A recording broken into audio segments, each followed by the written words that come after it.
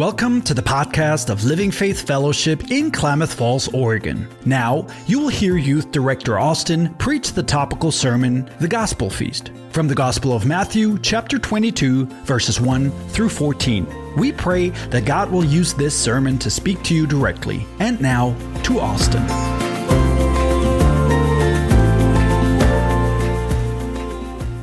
We're going to be in the book of Matthew.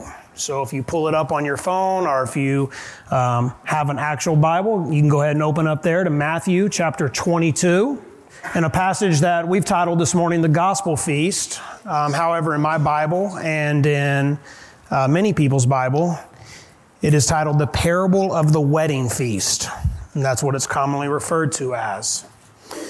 Now, when I was preparing for this message uh, last week, and I was sharing this with First Service as well, I, I did what any good scholar would do, and I took to Google to find some answers. And I looked up various royal weddings because this deals with a royal wedding.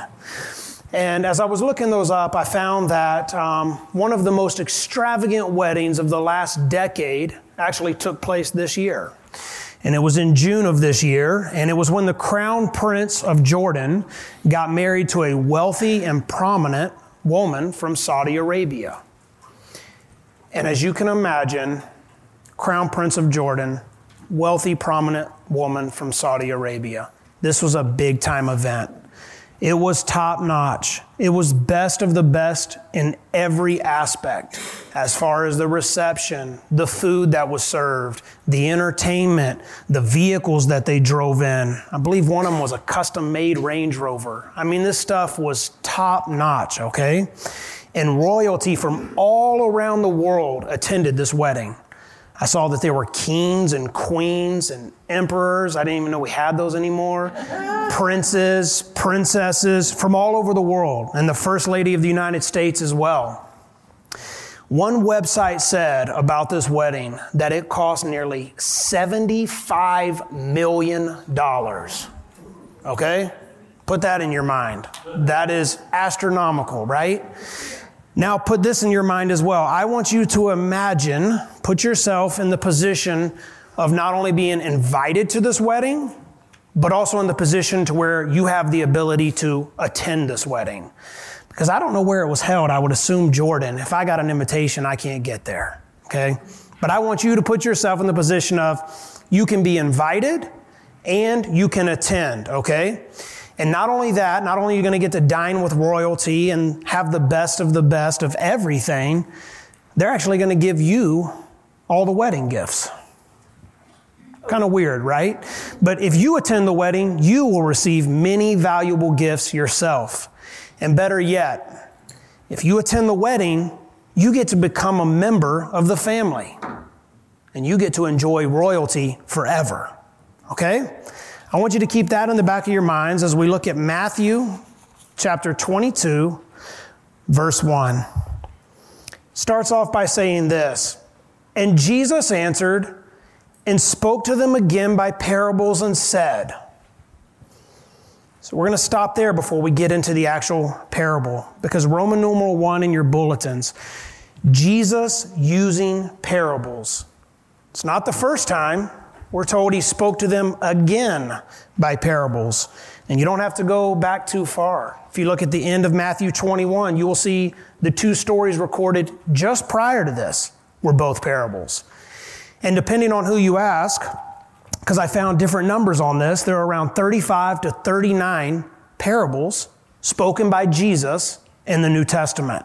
So it seems that parables were preferred by Jesus as his method of teaching. But why? Why parables? Now, understand there are multiple reasons for Jesus speaking in parables, and he gives us some of them. And the few that I'm going to give you this morning, it's not all encompassing. There are more reasons. But here are a couple that I think are very relevant, not only to this passage, but also to you specifically sitting in the room or listening online. There in your notes, here's one. Jesus used parables to illustrate a truth.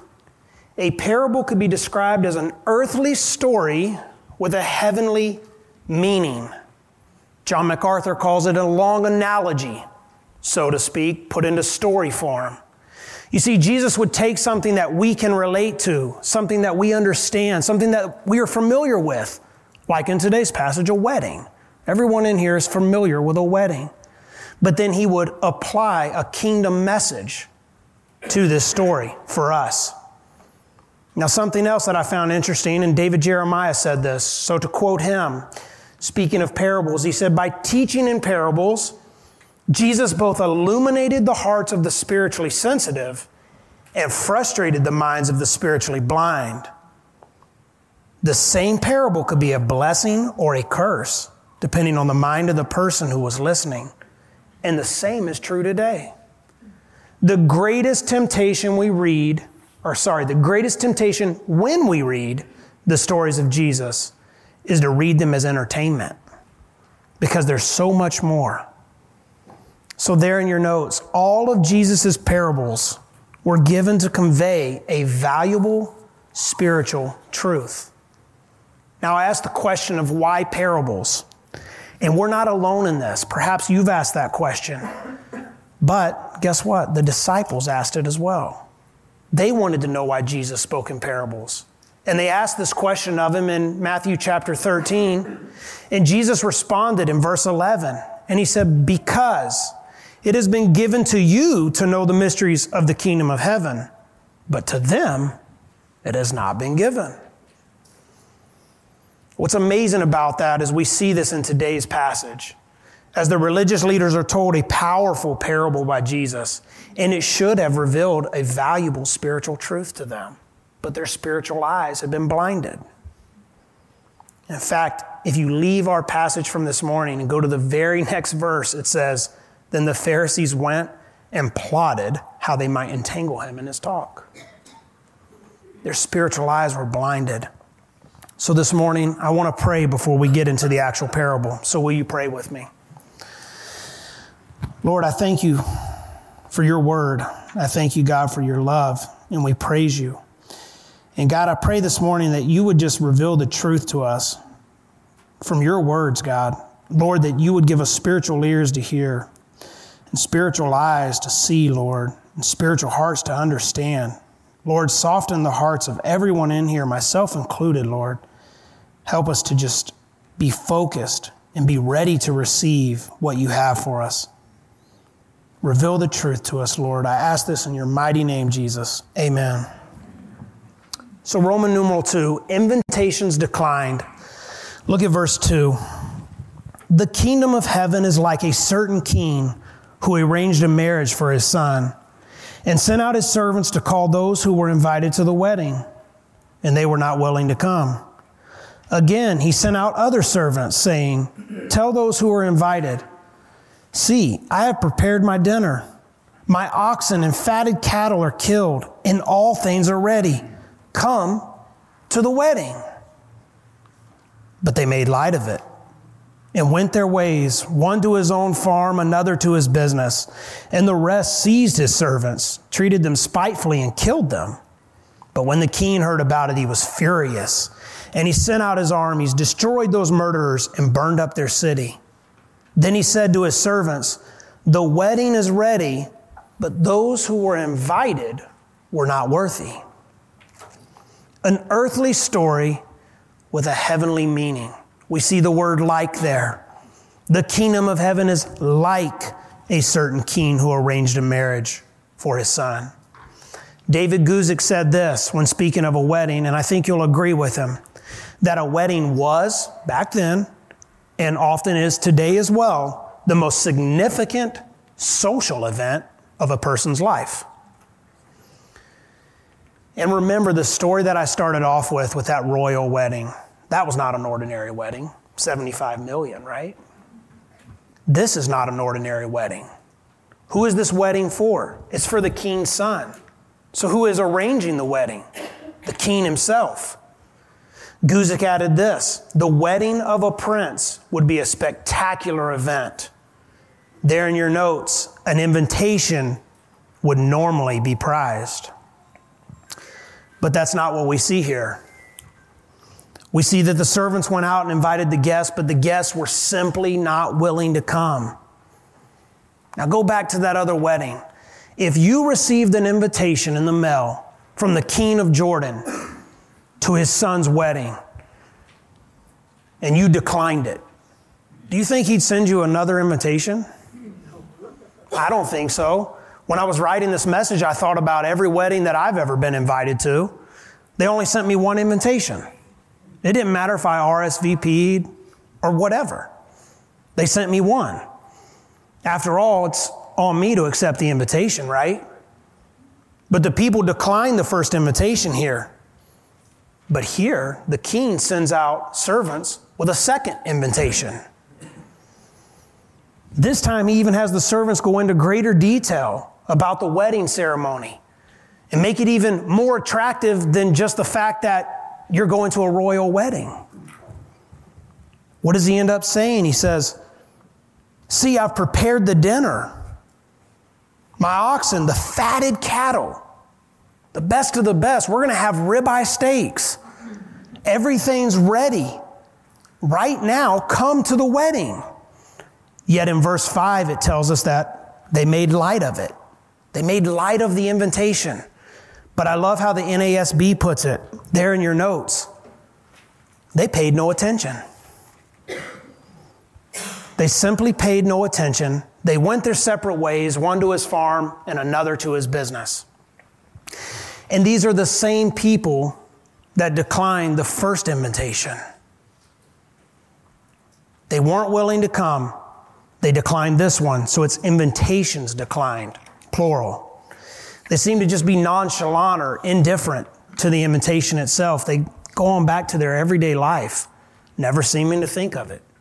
After all, why worry about going to the wedding when I've got my own stuff to handle or my own life to live? And perhaps the first invitation came and they just thought, I'd respond to it, I'd accept it, but maybe later. The second one comes and the king says, Now is the time. All things are ready. You must come to the wedding now. We don't have a refrigerator. This stuff's going to go bad. It is time. Come to the wedding. And not only that, back then, an invitation from a king would not only have been considered an honor and a privilege to receive, like, wow, me? It would have also been viewed as a command, as a command to attend the wedding. But they're faced with the reality of having to make a decision, and what do they do? They just pay no attention. Now, maybe they think that they're not making a decision, kind of like me throwing an invitation on what we call the mail counter, probably to never be seen again. maybe they think that we'll make the decision later. But here's the deal to not make a decision, and please hear me on this to not make a decision or to not pay attention to the invitation is to make a decision. You've made the decision to not attend the wedding. There in your notes. They are indifferent to the invitation, just as some are indifferent to the call of the gospel. Now, where some are indifferent, there are others that are just all out against it. They're aggressive, they're antagonistic, they're unfriendly towards the servants who are simply trying to invite them to the wedding. And in fact, some far some will go so far in this that they become murderous. They seize the servants, they persecute them, and they kill them. And the king will have none of this. He sends out his armies, he destroys the murderers, and he burns up the city. It's an earthly story with a heavenly meaning because there's so much more to this. So, there in your notes in Roman numeral 3, who is everybody? Let's figure this out. Who's the king? Who is his son? Who are the servants sending out the invitations? And why would someone refuse? Well, the king is God. His son is Jesus. The invitation is the gospel. So the servants are the people sharing the gospel. But Israel declined the invitation. So verses 1 through 8 definitely have a national emphasis here regarding Israel rejecting the gospel. But we also see this if we go to the Old Testament. We see prophets being sent to Israel time and time again, and they're treated spitefully. Oftentimes they were killed. But also in the Old Testament, we read that Israel would reject Jesus himself. In Isaiah 53 3, we read this He is despised and rejected by men. Speaking of Jesus, he is despised. A man of sorrows and acquainted with grief, and we hid, as it were, our faces from him. He was despised, and we did not esteem him. In Psalm 118, verse 22, we read, The stone which the builders rejected has become the chief cornerstone. So, fast forward to the New Testament. In a passage in the book of Acts, to give you a little bit of context before we go there, there's a passage that deals with Peter and John, and they've been arrested, treated spitefully, right? We're told that people laid hands on them and took them into custody, and I'm sure that entailed more when they took them into custody. They had healed a lame man, and they were going about and they were preaching Jesus and preaching his resurrection and teaching the crowds about Jesus Christ. And like I said, they end up in jail and in custody. And they're brought before the religious leaders. And they're asked the question in verse 7, which won't be on the screen, but they're asked the question in verse 7 of, By what power or by what name did you heal this man?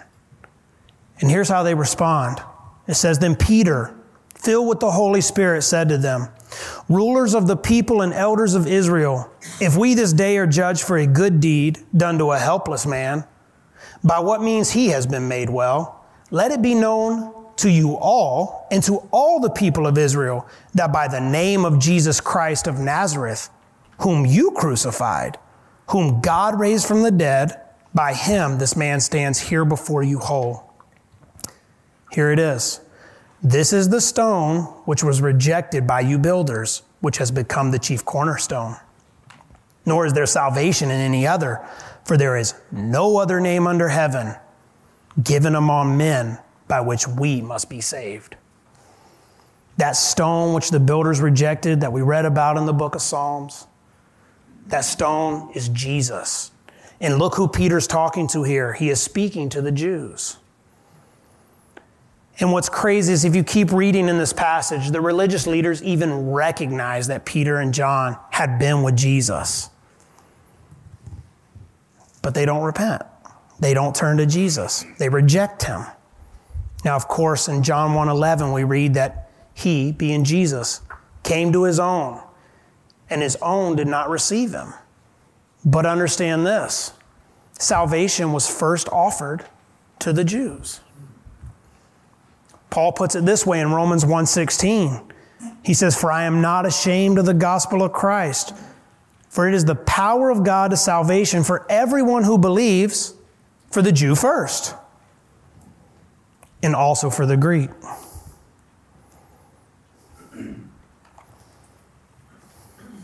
For the Jew first, but also for the Greek. But I'll let you in on a little secret here. Jesus already knew all of this. He's speaking about it right here in this passage before it even happened. Warren Wiersbe says, speaking of this parable specifically, that the period described here must be after his resurrection and ascension and the coming of the Holy Spirit.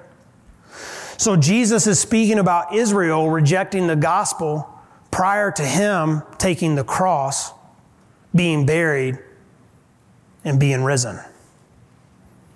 He knows that they will deny, but in his grace, mercy, and patience, he sends more messengers with more invitations. He sends believers filled with the Holy Spirit to share the good news, to invite people to the wedding. Believers like Peter and John that we just read about. Believers like Stephen, who we read about also in the book of Acts. But what did they do to Stephen? In Acts 7 57 and 58, we read this. Then they cried out with a loud voice, stopped their ears, and ran at him with one accord. And they cast him out of the city and stoned him. They killed Stephen. Remember? Many of the servants were treated spitefully, and they were seized and they were killed. So they had rejected God, they had rejected His Son, and they had rejected the Holy Spirit. And we come to verse 7, and the king gets word of it. Not only that his invitations are being declined, but that they're killing the messengers. But look at verse 7. But when the king heard about it, he was furious, and he sent out his armies, destroyed those murderers, and burned up their city. He'd have no part of it. And I believe that there's a dual fulfillment here because what Jesus is speaking about happened. But there's also more to come in the future. But Henry Ironside says this about this verse specifically. After Jesus had been rejected and crucified, God waited for some 40 years for Israel to repent, but they would not. God permitted the Roman armies to invade the land of Israel and destroy Jerusalem. And of course, this is speaking about the destruction of the temple around AD 70. And Jesus is talking about it before it happens. And Jesus himself, which was referenced in a passage from a few weeks back, also went on further to say in Matthew 24 2, Do you not see all these things? Assuredly, I say to you, not one stone shall be left here upon another that shall not be thrown down. And remember, they completely destroyed the temple and burned it to the ground. But imagine this. Imagine you are now in the position of sending out an invitation. And you send out an invitation and a person declines. But you won't be deterred. You really want them at the wedding. So you send them another invitation. And now you get word that they've also declined that invitation and they also killed the mailman who brought it. Would you keep inviting that person to your wedding? I wouldn't. I don't want you there. That's kind of scary. You killed the mailman. But what does God do, right? Point four there in your notes Will there be guests? Look at verse 9. It says, Therefore, go into the highways, and as many as you find, invite to the wedding. So those servants went out into the highways and gathered together all whom they found, both bad and good. And the wedding hall was filled with guests. There in your notes, like I said, Israel had rejected. So the gospel went out to the Gentiles. Here's what we read in the book of Acts, chapter 13, verses 45 and 46. When Paul is confronted with this issue, here's what we read. But when the Jews saw the multitudes, they were filled with envy and contradicting and blaspheming. They opposed the things spoken by Paul. Then Paul and Barnabas grew bold and said, It was necessary that the word of God should be spoken to you first. But since you reject it and judge yourselves unworthy of everlasting life, behold, we turn to the Gentiles. It's not what the sermon is about today, but I do want to be clear in the fact that God's not done with Israel. Okay? If you think God's done with Israel, go read Romans chapter 11 and so many other passages where God's not done, all right? But in God's foreknowledge, He did know that the Jews were going to reject the invitation. So the message went out to as many as the servants could find in verse 9. And I love that. If you look at it, it went out to as many, and they gathered together all whom they found not just some, not a few, not the best dressed, or just the men, or just the women, or the rich, or the poor, or a certain race or ethnicity. Ethnicity. No, it went out to as many as you find. Go tell everyone that the wedding hall is ready. The wedding is ready, both bad and good. And what do we read? The wedding hall was filled with guests. The fact is, is that God arranged this marriage for his son, Jesus. There's gonna be guests at the wedding because it was for his joy, it was for his glory, not mine. And not to hurt your feelings, not for yours either.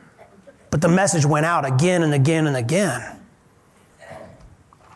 And like I said earlier, yes, there was a national emphasis here regarding Israel and then the gospel being sent to the Gentiles. But there in your notes, there's also a personal application because you have to accept the gospel. You have to accept the invitation for yourself. And in this entire parable, we see God's grace because the truth is is that none of us are worthy. Right? We read in verse 8 that the wedding is ready, but those who were invited were not worthy. Those were the people that were invited and they declined. But we're not truly worthy either. But there is one way to be worthy. Point five in your notes the proper clothing. Look at verses 11 through 14. But when the king came in to see the guest, he saw a man there who did not have on a wedding garment. So he said to him, Friend, how did you come in here without a wedding garment? And he was speechless. Then the king said to the servants, Bind him hand and foot, take him away and cast him into outer darkness. There will be weeping and gnashing of teeth. For many are called, but few are chosen. You see, back then, it was custom for the host of the wedding. So, who's hosting this? The king. Okay, so it would be custom for the king to provide the wedding garment for the guest to wear. So everybody was properly attired. You didn't have to worry about going out and shopping for a dress or shopping for a tux. No, the king, it was custom for him to hand out the wedding garment to have his servants to hand it out so that everybody at the wedding hall would be properly attired. And so this man comes to the wedding hall, but he doesn't accept the garment. And when I first read this, I thought perhaps this man came in just old, torn, tattered clothes, right? He just, he doesn't look the part. He sticks out. And I thought that's probably why the king knew to go and find him and say, hey, friend, why don't you have the wedding garment on? But I don't think that's the case. I don't think it's that he was in old, worn clothes. The more that I studied this passage, I gained a new perspective, which I want to offer you as well. I think this man is well dressed. I think he's, he's looking sharp, dressed to a T. I think this is a brand new suit. I think he's got his shoes shined. He's got gold cufflinks. He's got his gold watch on, his tie impeccable. He looks the part. And I envision him walking into the wedding. And I think about the servant stopping him. He's coming in, and they say, Well, sir, hey, here you go. Here's the king's wedding garment. He wants everybody to, to be properly attired today. And he says, I don't need that. No offense, guys, but I'm good to go on my own. I mean, come on, you, you don't see this? This is like $1,500. Look at this watch. I'm good. I don't need the king's wedding garment. So he chose to attend the wedding in his own clothes. And he offered those explanations perhaps to the servants. We don't read that here. This is me just thinking a little bit outside the box here as to why he did not need the wedding garment. I'm well dressed brand new suit. I'm good to go on my own. But notice what he says to the king when the king comes in and says, How did you get in here without a wedding garment? What does he say? Nothing. He was speechless. Speechless before the king.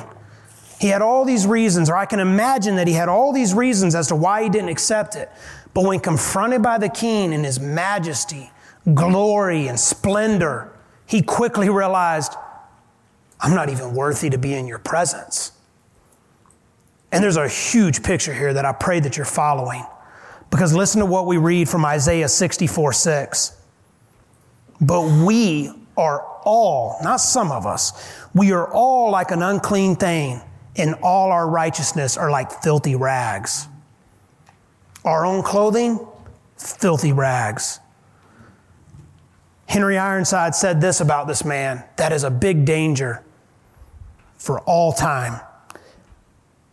He's like many who say today, I do not think I am so bad. I do not need a Savior. I am good enough as I am. You thought you weren't so bad. You're not, I've never killed anybody, right? I'm not a bad person.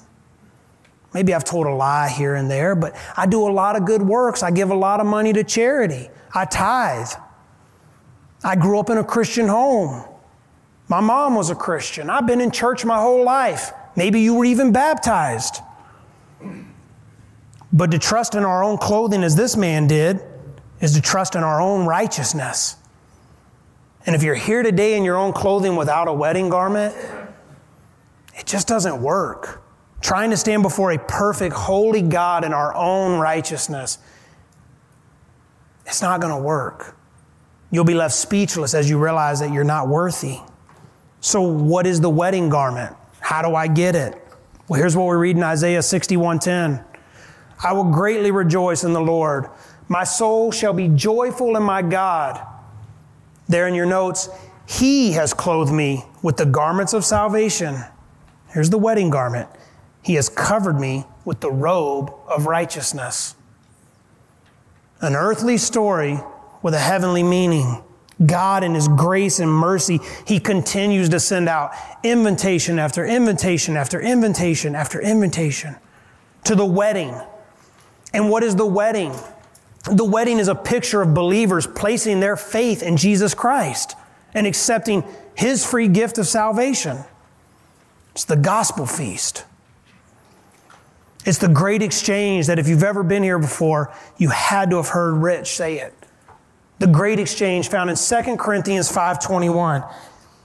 He, being God, made him being Jesus, okay? He made him who knew no sin to become sin on our behalf so that we might become the righteousness of God in him. I get to be righteous and Jesus took all my sin that should be mind blowing to you. I don't know if I'm just speaking for myself here, but I think about my life and I get to be righteous. And Jesus took all my sin. Wow.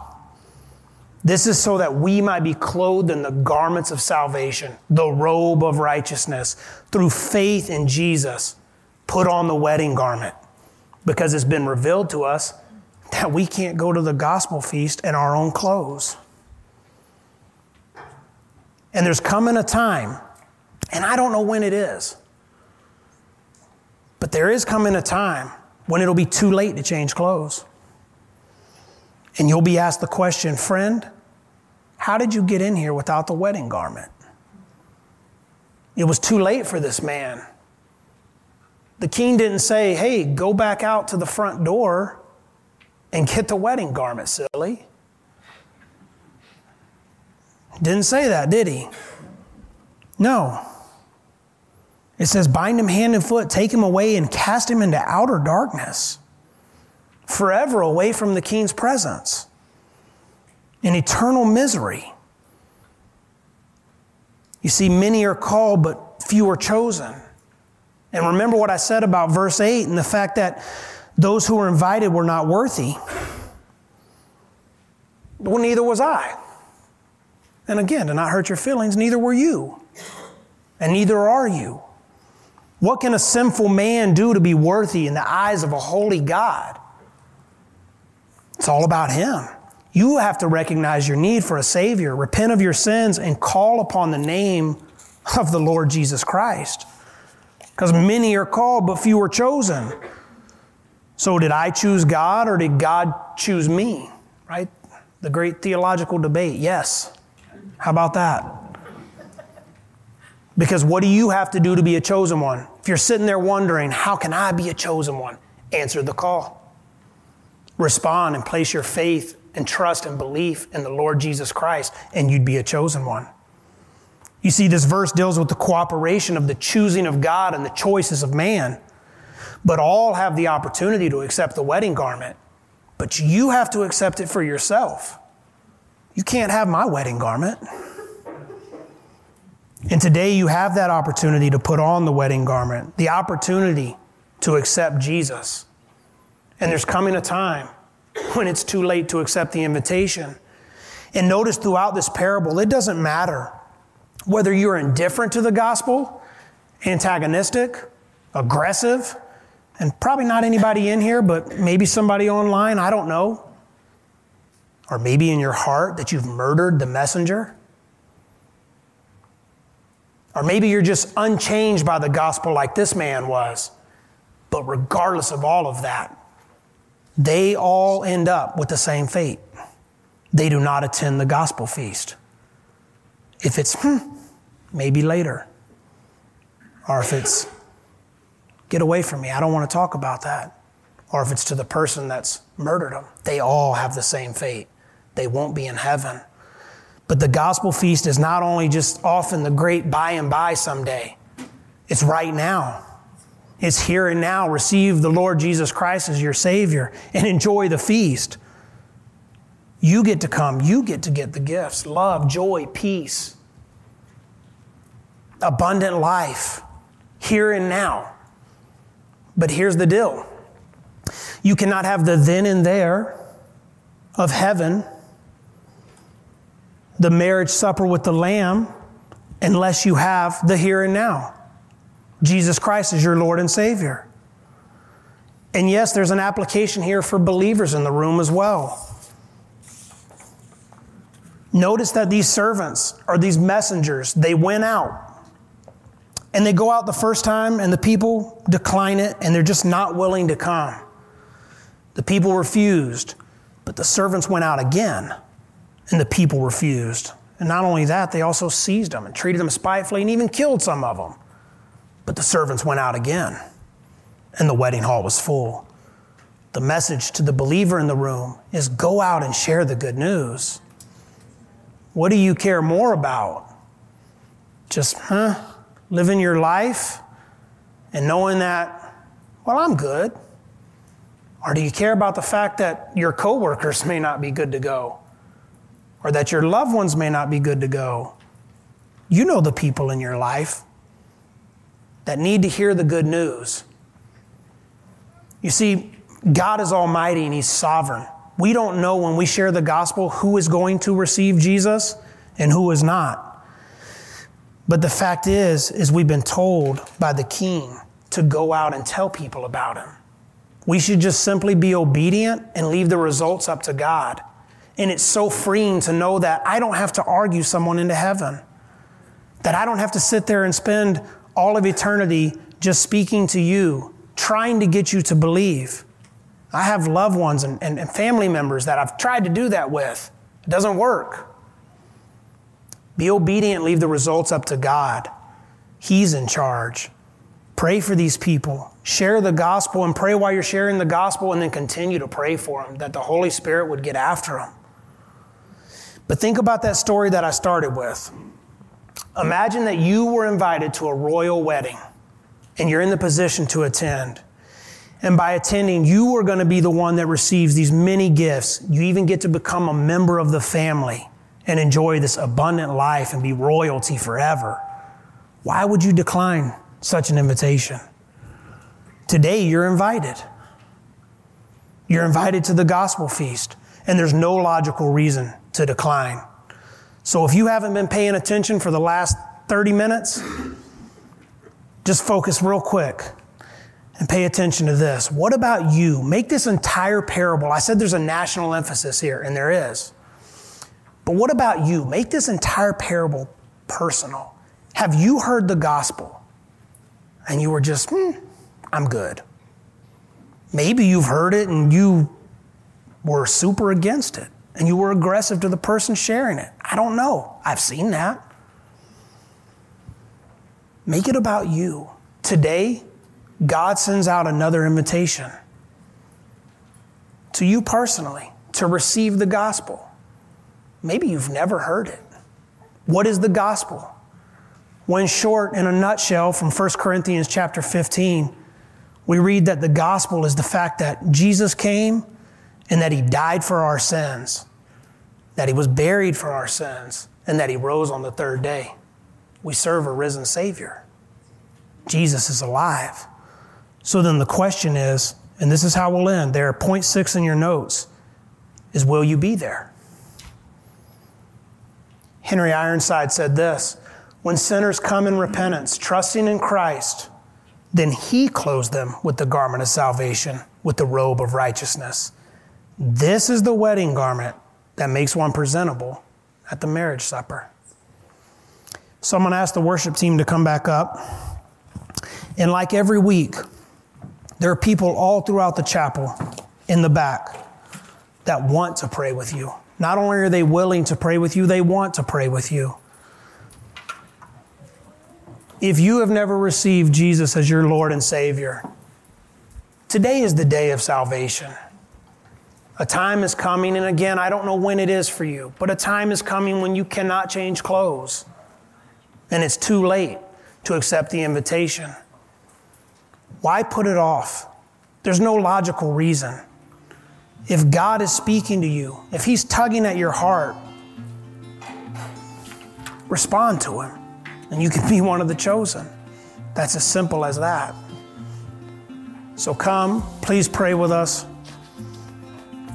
Regardless of what's going on, what your needs are, our ultimate need for all of us is Jesus Christ. Thank you for listening to Youth Director Austin preach the topical sermon, The Gospel Feast, from the Gospel of Matthew, chapter 22, verses 1 through 14. Tune in next week as Pastor Rich preaches the sermon, A Shepherd's Perspective on Christmas. Join us every Sunday morning either in person at 8:30 a.m. and 10:30 a.m. or online at 10:30 a.m. Pacific Standard Time. Watch our live stream on our website, YouTube, or Facebook page. Our website is livingfaithklamath.com. To find our Facebook, YouTube, or Instagram profile, simply search for Living Faith Fellowship Klamath. You can also find these links in the description of this week's episode. All sermons are available on our website. Simply click on the Resources tab and then click on Sermons. If you want to show your appreciation, you can tell others about us, subscribe to our podcast, and you can also leave a review so more people can hear the Word of God. Thank you again, and God bless you.